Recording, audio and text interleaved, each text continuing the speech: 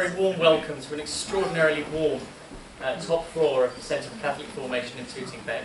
It is an absolute pleasure to have you here tonight. An absolute pleasure to have so many uh, friends and uh, future friends, new friends, uh, with us tonight. My name is Mark Nash. I'm the director of the, uh, the Centre for Catholic Formation, otherwise known as the uh, CCF. And this year we're celebrating a very special anniversary. We're celebrating our 50th anniversary, our golden jubilee. Um, so you are with us on this occasion. And what better uh, sort of way uh, to spend uh, an anniversary than with, uh, with friends? Uh, and and uh, yes, as I say, with friends and with future friends. Um, tonight's talk um, has obviously stirred a tremendous amount of interest. Uh, we've had two talks in our lecture series, one on the priority of adult formation and the other one on the catechetical journey, the, sort of the history of catechesis over the last 50 years.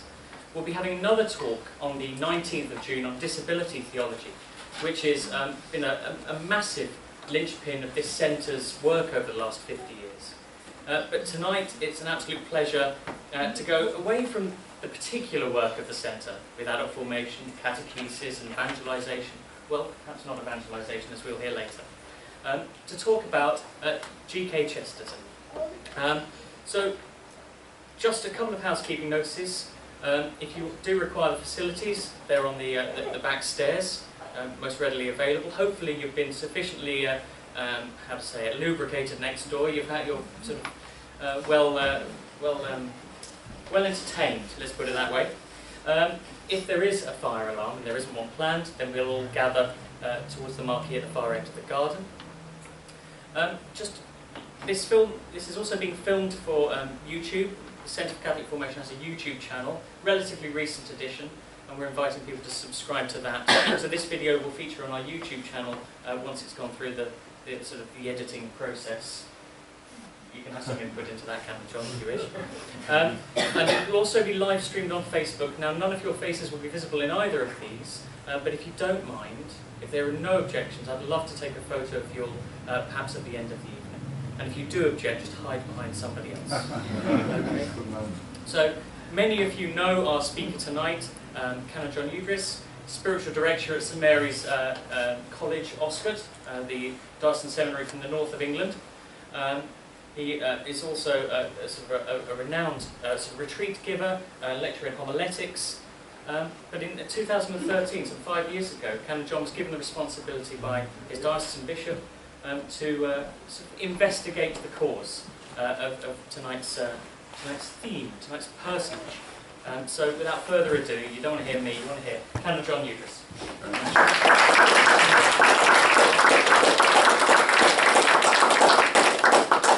good evening everyone, and uh, it's such a joy to be uh, sharing uh, Chesterton with you and hopefully delighting with you in his abiding influence um, on this, the 82nd anniversary of his death. So 14th of June uh, 1936 was when he was uh, called to the Lord.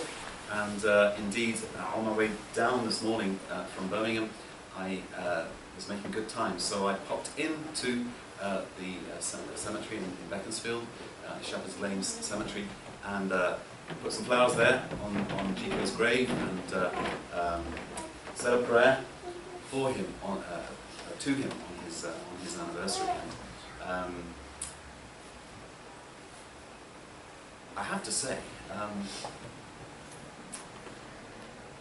there's, during the course of the day, been uh, a little anniversary gift, you might say, um, and that's something I'm going to uh, share with you at the very end, just to keep you waiting for what that might be. but just to say, uh, I'm, I was thrilled when, when it, it came through um, uh, earlier uh, on, on my email.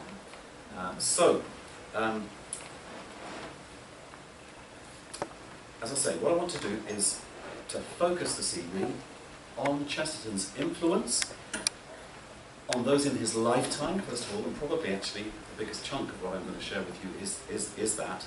But then his abiding influence uh, around the world today, all by way of inviting you to reflect upon and maybe share with me, uh, if you care to, um, his influence on you, his influence in your life. And right away, let me say uh, that although my investigation is, is coming to an end, and I hope to have that into the bishop um, by the end of July, um, I'm really hoping that, that, that this last know, uh, few weeks I'm going to be inundated with a lot of a lot more emails, just um, sharing with me what Chesterton means to you.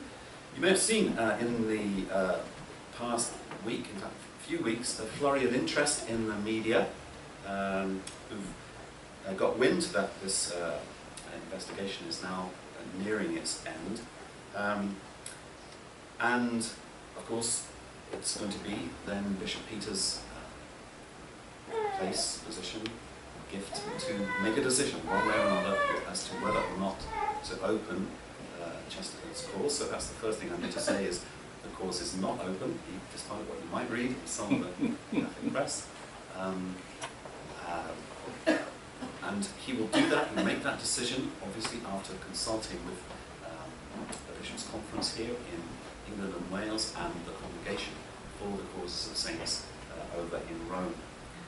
But this evening, what I want to do is to share a little of, of what I've discovered in my research, for example, about whether people considered Chesterton holy in his lifetime, uh, and particularly what they said around the time of his death.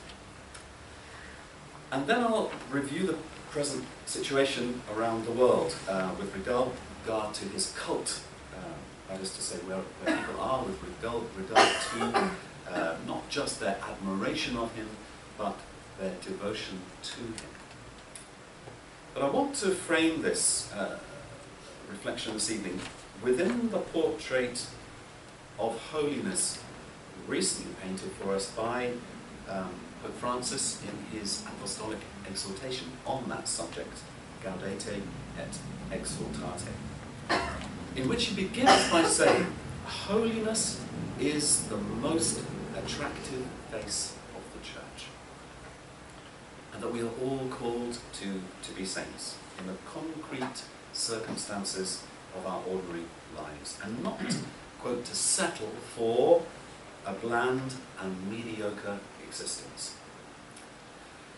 So I want to say at the outset that there's something about Chesterton, something about his writing and his beautiful personality that shines through that writing that is fundamentally attractive.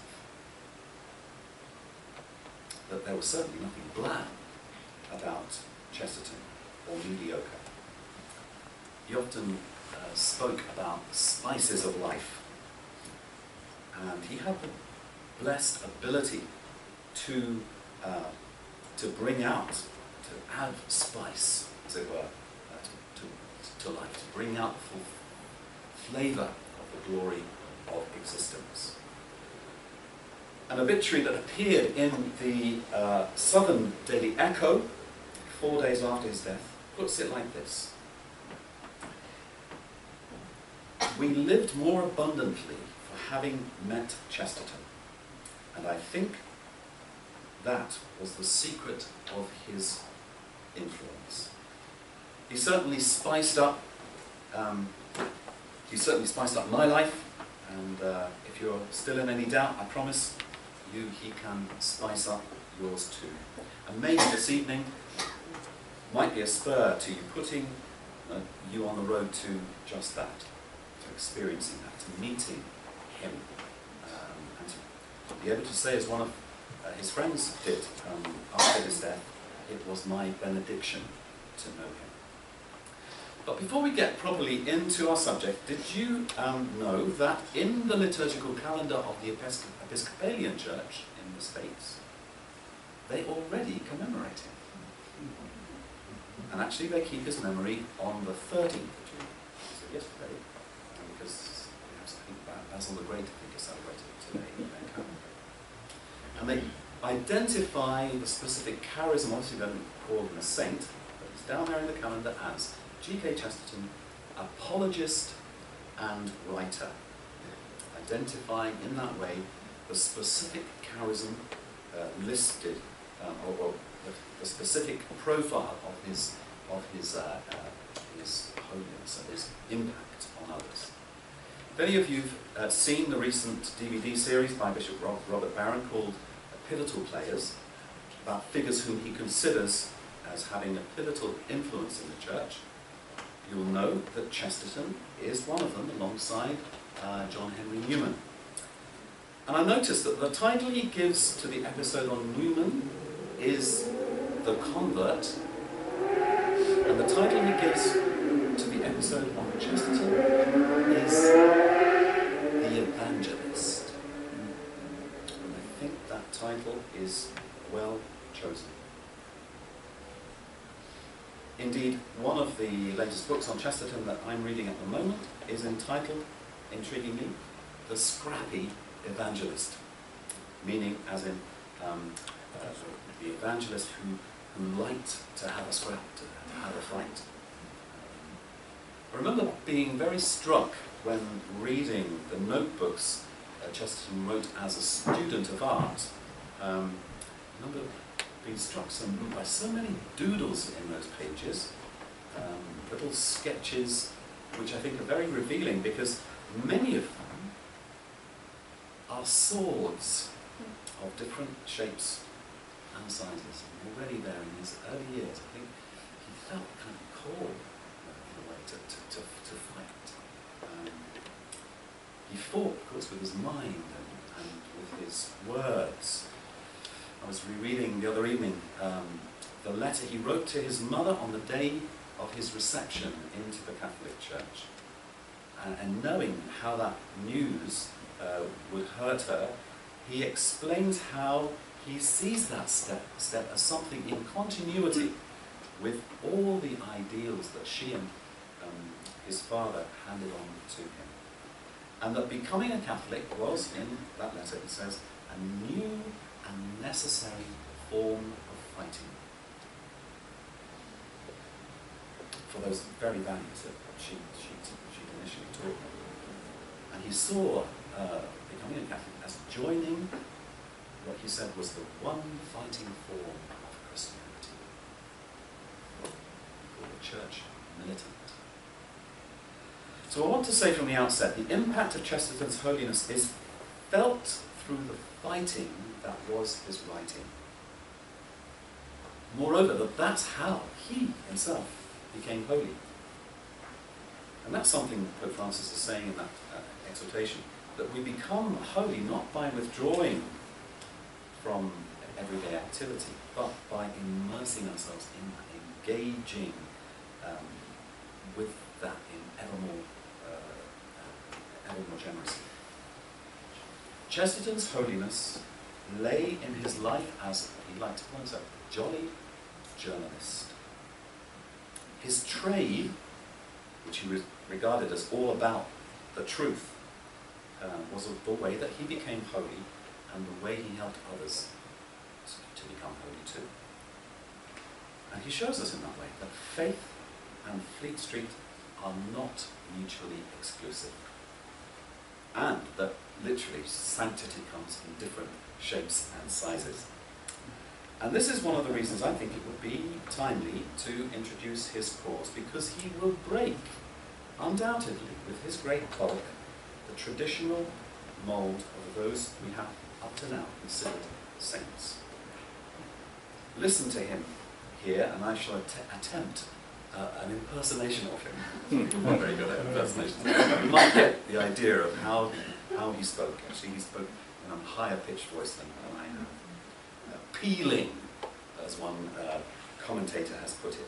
And he was always teasing, uh, trying to make you laugh, or at least smile. So here we are. Here, here's Chesterton describing how we've kind of had a too narrow an idea of saints up to now. We dimly connect being good with being delicate and even dapper with not being grotesque or loud or violent. Now, it is always a pleasure to be loud and violent, and sometimes it is a duty. A man can be loudly and violently virtuous. Nay, he can be loudly and violently saintly. though that is not the type of saintliness we usually recognize. But, I say, we may well be on the verge of that in this case. Um, the mind boggles with the thought of the size of the statues that might uh, entail. So with that as an introduction, let me begin to consider if indeed Chesterton was considered saintly in his own lifetime. Shortly after his death, William Titterton published the very first biography of Chesterton. It's a very short one, kind of almost written like with a gush of gratitude after, after Chesterton's death. Now, he was contemporary, obviously, of Chesterton's and a close collaborator. He was the uh, sub-editor of Chesterton's own uh, newspaper, GK's Weekly, and he, in fact, became a Catholic um, himself under GK's influence. And in that book, he writes of how saints are aware of God at all times, and then he admits, quote, It is not for me to say Gilbert Chesterton attained such continued awareness of God, though I trust it is permitted to me to hope that this will someday be acknowledged. Later on in the book, he becomes more explicit. I will admit that I have strong hopes that it will one day be acknowledged that GKC died a saint, though there are, there are fewer saints known on earth than in the courts of heaven. And then in the penultimate paragraph of that biography, he speaks of Chesterton in the present tense. He knows just died, acknowledging that the experience of his influence is now being, as it were, from that great cloud of witnesses that letter to the Hebrews speaks about, cheering us on from that grandstand, um, the rest of us who are still involved in that race. So here's that penultimate paragraph. He is with us still. He is nearer to us than he has been the last years. Ill health made him a little remote from us, but now he's back again as strong and as jolly as ever. And the spirit that was um, always the spirit of a giant has now become the spirit of ten, the strength of ten. He marches with us. He leads us. He is ours. And this is not a manner of speaking, a sentimental folly. It is a fact as hard as steel. Among the uh, many periodicals for which Chesterton uh, wrote was the Illustrated London News. In fact, this is the edition um, that was uh, published um, immediately after Chesterton's death. But in an edition a little bit later that year, in fact the October the 31st Halloween edition, um, the, the successor to his slot, as it were, in the illustrated London News, uh, Arthur Bryant, um, wrote all about the feasts that we keep around those days. And here's what he says. It's quite a long quote, quote but I think it's a, it's a useful one. There are many whose names appear on no Christian calendar, who by struggle and endeavour and conquest earned their right to be included among the saintly company. Of such was that very wise and good man who for 31 years prior to this summer contributed to this column. Gilbert Keith Chesterton. He spent his whole life in teaching others how to live. The very sound of his name is like a trumpet call. To him the world was like a strenuous field in which one went about doing battle with evil in order that good might endure. If from, this, from his generation one had to select one man who might have stood as a type of Don Quixote or St. George who slew the dragon, it was he. If any literary name of our age becomes a legend, it will be his. He was the kind of man who Bunyan, of whom Bunyan was thinking when he drew the picture of Mr. Greatheart, with the sword defending the uh, pilgrims. His sword was at the service of pilgrims, and what a sword it was. His Catholicism was an all-comprehending democracy, I never met a more generous man, and I never saw a happier. And I do not believe there is anyone who has who had the inestimable privilege to know GKC who would not say the same. It is right that he should be remembered on the day set apart for the recollection of the saints of God. I love the um, mention there of the great heart and also of St. George, and it reminds me of something else Chesterton wrote. In every romance, there must be three characters. There must be the princess, who is a thing to be loved. There must be the dragon, who is a thing to be fought. And there must be St. George, who is a thing that both loves and fights. Mm. Here, Chesterton is lamenting the fact that people usually opt for one or the other, fighting or loving, while failing to see that they both imply each other. And the nub of his argument you cannot love a thing without wanting to fight for it. And you cannot fight without something to fight for. As we've already said, Chesterton loved a good fight. In fact, fighting was his whole life. But never ever in hatred, always in love. He was someone who fought valiantly because he loved valiantly. Believing that, uh, as he said elsewhere, the true soldier fights not because he hates what is in front of him, but because he loves what is behind him. Another character and contemporary of GK's was the Dominican father Vincent McNabb, someone who Chesterton himself felt was the nearest thing to a saint he'd come across. And in his obituary of GK, he continues this combat, combative uh, imagery. This is McNabb. This man who was a child at self-defense was a dragon slayer in defense of others. It goes on his description of uh, GK's uh, impact, uh, which is, by the way, well worth reading in its entirety. He says, Now we come to the most delicate and therefore deliberate thing we have to say about the man Gilbert Chesterton. While not using the word sanctity as synonymous with that verifiable heroic virtue which receives official authentication, we cannot complete what we feel should be said about him without using the word sanctity or holiness. Holiness, at least in the English form, denotes a certain wholeness which the rounded and complete life of Chesterton suggests to our thought. It sums up, he was a born philosopher, a born poet, a born knight, and I will make bold to say, a reborn saint. Reading through the many letters of uh, Frances uh, Chest, uh, um, Chesterton um, that she received on the death of her husband is very revealing in terms of the very personal uh, influence he exert, exert, exerted on um, people all around the world. I want to turn now to some of what, for me, were the highlights of reading those letters in the British Library. The very first one was a May ba Bakewell, written on the very day of, of uh, Chesterton's death, as indeed were many of those letters. Um, so people were moved immediately to write. In it she describes being honoured by his friendship, which she says made one feel one's best. And this is something that's repeated uh, in so many of these letters. And it reminds me actually of something um, his brother Cecil's wife wrote about him.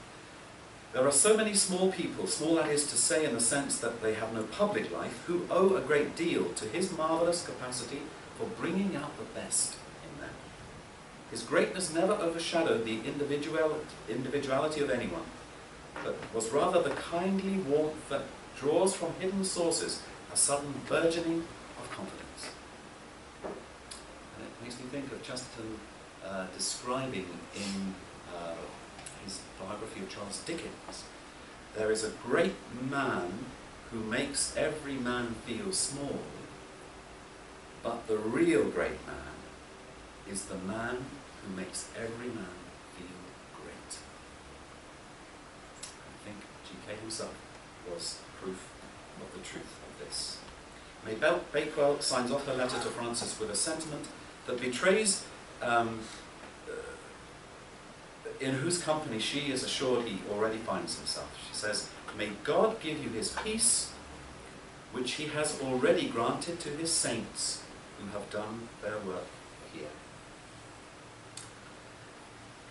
A letter from Joe, uh, Joe, Joan Lamplugh in Birmingham provides another beautiful image of how so many felt indebted to him. She writes, It's foolish for me to try to tell you how much I owe to him. because it was he who first showed me the path which led me into the church. He must have been a godfather in similar ways to many hundreds, perhaps thousands of people. And those of us who were privileged to meet him found him even greater as a man than as a writer. I felt I was a real godchild of his, and I feel a real sense of loss and of joy at having a godfather in heaven. I love that image of GK as a godfather, but also that, that, that, that um, what she says there about being in, even more um, moved by Chesterton as a man than as a writer. Reminds me of something that Ronnie Knox said at, um, the panegyric uh, uh at uh, GK's uh, Thanksgiving Mass in Westminster Cathedral, and he ends up by talking about Chesterton's humility, and he says, but more than anything he wrote about, humility, he embodied it. One cleric from the States wrote, wrote this prophecy, his tomb will be a sacred shrine and the goal of many an American. And that certainly proved true. Uh, when I was parish priest at Beaconsfield uh, between 96 and 2003, it was largely pilgrims from the States and from Latin America too, who would periodically call at the presbytery door for directions to his grave. Which underlined for me in those years the, the lack of local cult that there was. But that's been changing in, uh, in recent years, and uh, Stuart, sitting in there, has uh, coordinated the, uh, for the past seven years, Stuart, the um, walking pilgrimage from, uh, from uh, Kensington uh, to 30 miles or so to, to, to Beaconsfield, and I believe it's happening again uh, uh, this year at the end of July. Is it on the Saturday? Yeah, Saturday, the 28th of July. 20th. 28th. 28th, Saturday. So this is the Saturday nearest uh, to uh, the anniversary of Chesterton's being received into the church, which was the 30th of July. So that you know, I would say as a sign in these recent years that that, that uh, local cult is, is, is indeed growing. Some of these letters um, already hint at parallels with Newman.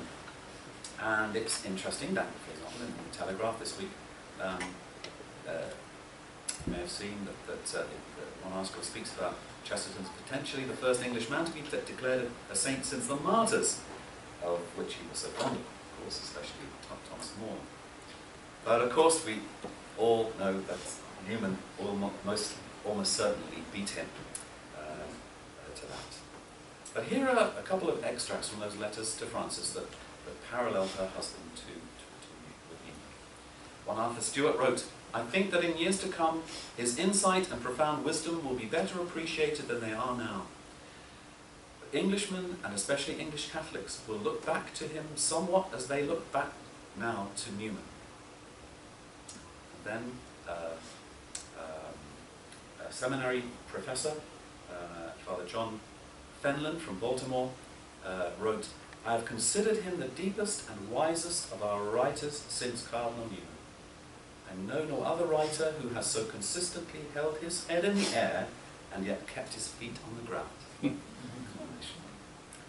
There are certain, uh, certainly obvious parallels with Newman, both great thinkers who became great converts and who drew with them, uh, through their influence, many others into the Catholic fold. But as I pointed out um, to many who mentioned precisely this, that with regard to Chesterton's influence in becoming Catholics, admiration is one thing, devotion is another. I mean, it's one thing to acknowledge an intellectual and even spiritual debt to Chesterton, but quite another to experience that debt as a personal bond and even a living relationship in the communion of saints. And further, to express that bond in prayer and in the seeking of his intercession. But before we come on to those present day testimonies, two last ones um, from those writing to Frances after uh, GK's death. The first from um, R.N. Greer Armitage in Bath, who writes, So much of my mental makeup has been actually derived from him.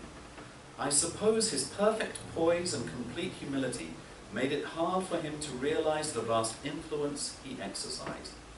But it was very real, and I'm sure his wisdom, his wit, his profundity, and his goodness will be quarried increasingly in the years to come. That he was also a saint, I am entirely, entirely convinced, and I'm pretty sure you could confirm my faith in, in, in that respect. It was one of the great privileges of my life to have known him and to have come under his glorious influence.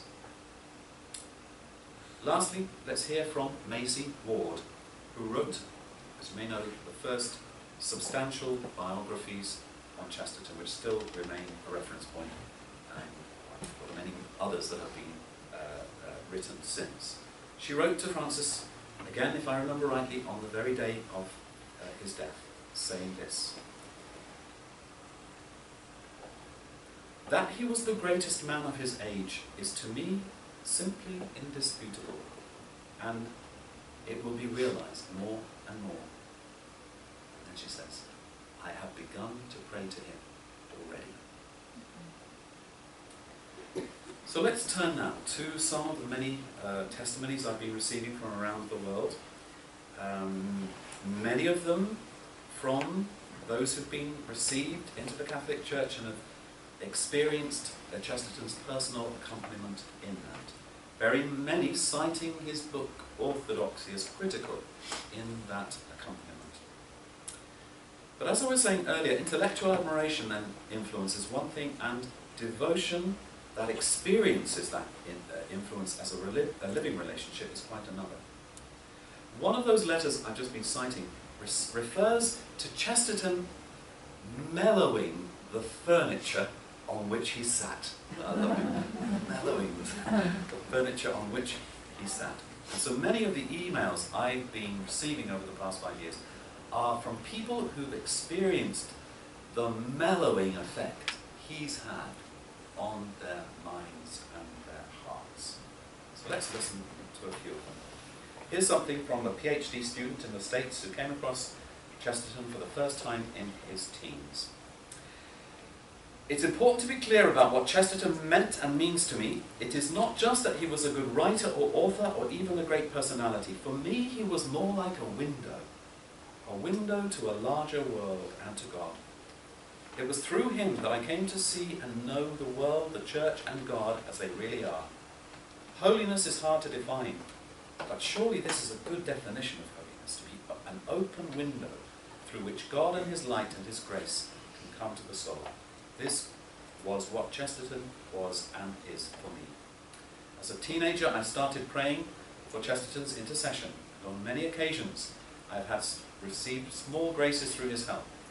But his presence as an intercessor has been expressed far more in a sense of constant presence and sustenance, especially in the darkest and most difficult times of my life.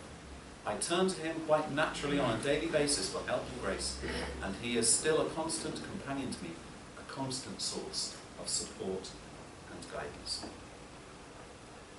Chesterton's influence is uh, largely, uh, is felt uh, very strongly in uh, Latin America, where he's still widely read. I think that's largely due to the um, uh, Argentinian author um, Borges, who translated Chesterton into Spanish.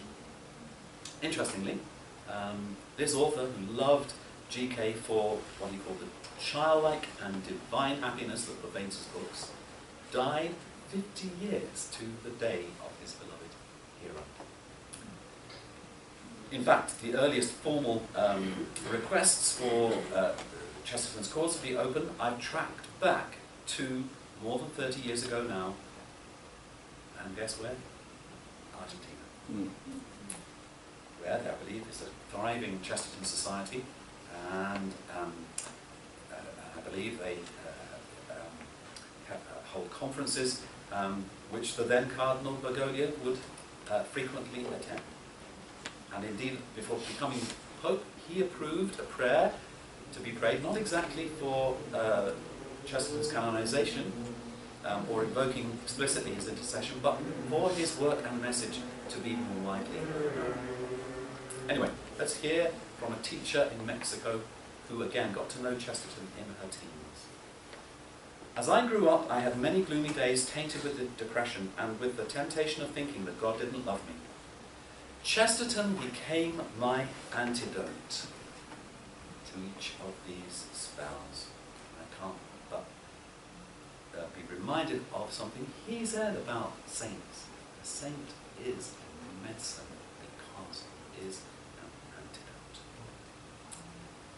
She said, I wanted to be closer to Chesterton's God, the one who was never tired of making each and every daisy, the one who hid his everlasting joy.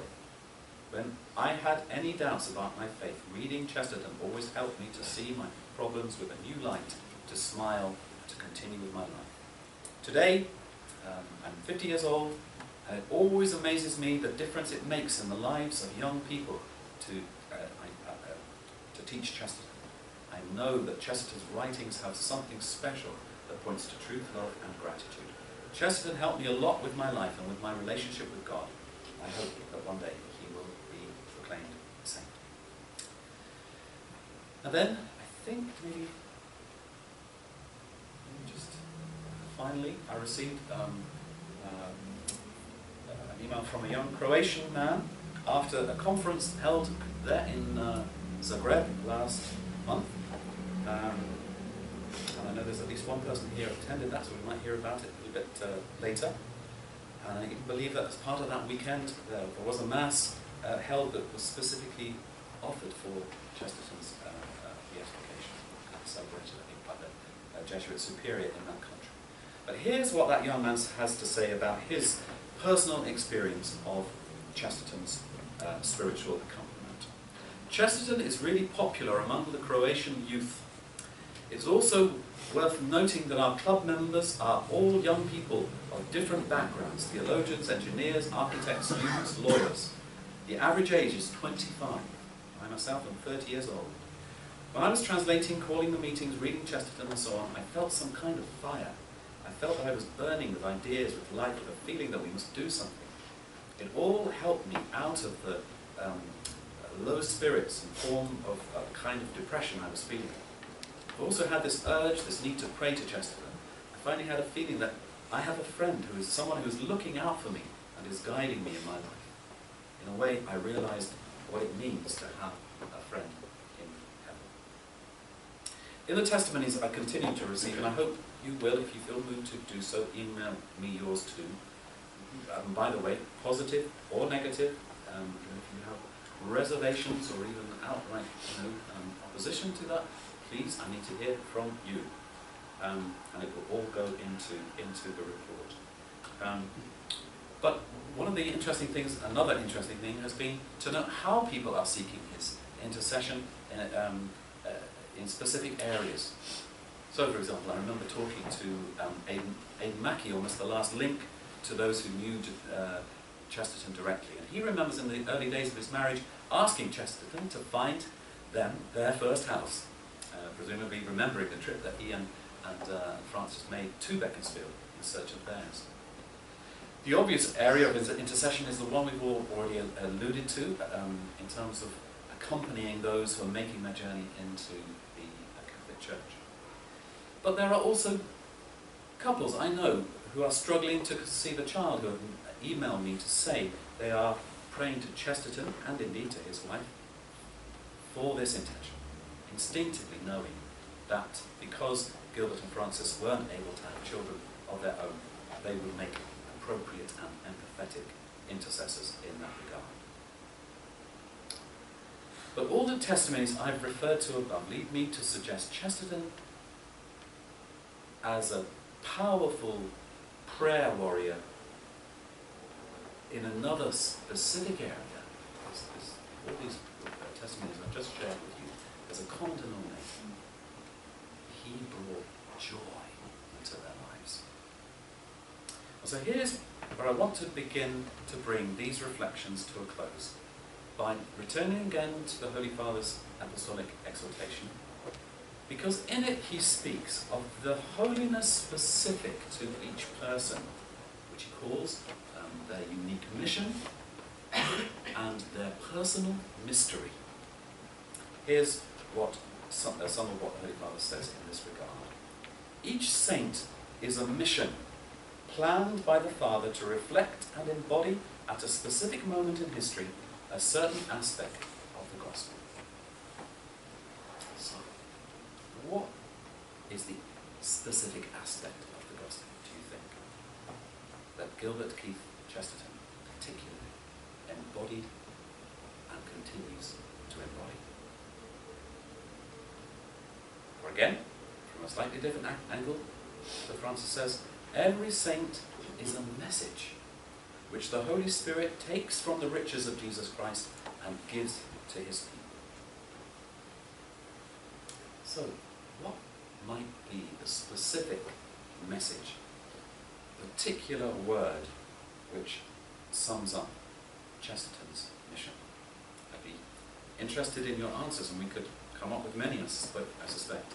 Earlier today, I led uh, a day of recollection for uh, the clergy of the Archdiocese of Southwark, and looking at specifically um, aspects of Chesterton's favourite saint, Francis of Assisi, which attracted uh, um, him, and which attracted him because they were an important part of his own holiness, so humility, gratitude, and childlikeness and courtesy.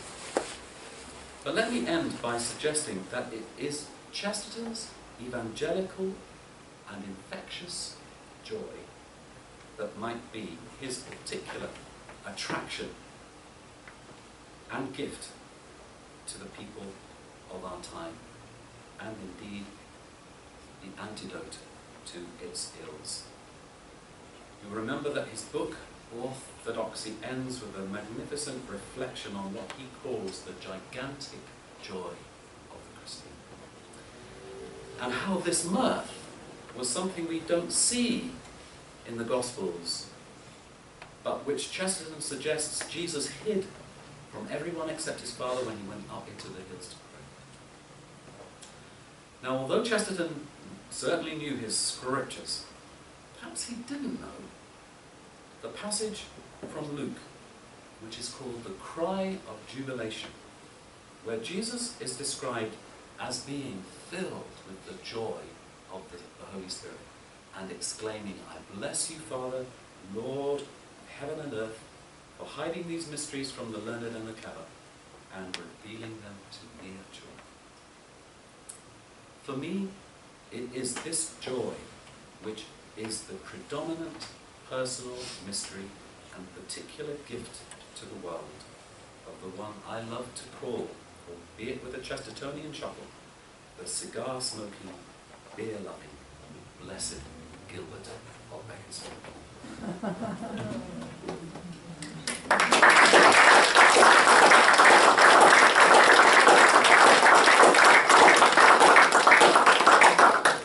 now for the anniversary gift. Uh, a few days ago, uh, Dale Ahlquist, the uh, president of the American Chesterton Society, put me in touch uh, with Bishop Robert Barron. You will know, many of you, is the uh, auxiliary bishop of uh, Los Angeles and was the founder uh, of the uh, Word on Fire ministries that um, produce so many resources. Uh, among them, for example, the DVD uh, series that I referred to um, earlier, uh, Pivotal Players. My bishop received a letter from Bishop Barron, and he's given me this permission to share its contents with you. So I'm not going to read it all because it's a long letter, but I'm going to read the, the, the highlights of it. Bishop Peter Doyle. As you may know, last year I produced an hour-long documentary on Chesterton for my Pivotal Players film series, which has already been seen by hundreds of thousands of people. Including Chesterton was an easy choice. I consider him a pivotal player because he's one of the most sparkling and effervescent figures in the great Catholic tradition. He embodies the wealth and capaciousness of Catholicism. Whenever someone suggests the faith is something cramped, crabby, and puritanical, I encourage him to read even one paragraph of Chesterton. For years I've appreciated his love of paradox. I've enjoyed his puns, plays on words, and surprising reversals. I've read many of his books, which each experience like opening a bottle of champagne, intoxicating, sparkling. Yet, it's not just his style I admire. His effectiveness as an evangelist is what makes him uniquely compelling. His joyous, confident expression of orthodoxy remains an antidote to the prevailing skepticism, materialism, and cynicism of our time. He embodied the new evangelization decades before that movement received its name. I'm convinced G.K. Chesterton is a saint and should be formally recognized as one. I ask for his intercession often. Over the years, I've especially re- requested his prayers for the media work of my Word on Fire ministry. Chesterton has a strong following among our Word on Fire staff, and he's been an important friend and touchstone for our movement. But why is now the right time for his cause to move forward? First, I think, because as the world becomes increasingly secular, especially the West, Chesterton offers a healthy engagement with skepticism. He never smeared his opponents, never exchanged fire for fire, never used vulgarity. He loved his intellectual opponents and counted atheists among his closest friends. We've lost the art of charitable religious argument, of speaking tr- the truth in love, as St. Paul described it. And Chesterton can help us recover it. I don't know anyone who better exemplifies the Evangelii Gaudium, the joy of the gospel, so championed by the Holy Father. The sheer exuberance of his life harkens back to Irenaeus, who said, The glory of God is a human being fully alive. Chesterton was and remains fully alive. And at a time when many Christians seem defeated and uninspired, we need his bubbly excitement about the gospel, his verve and excitement to proclaim the uniqueness of Christ. I hope that in my lifetime we will see G.K. Chesterton formally recognized for his heroic virtue. He doesn't need that title, but we need him. I believe he's a saint, and I offer my full support for his cause. Peace. Bishop Robert Barron, Auxiliary Bishop of the Archdiocese of Los Angeles. です。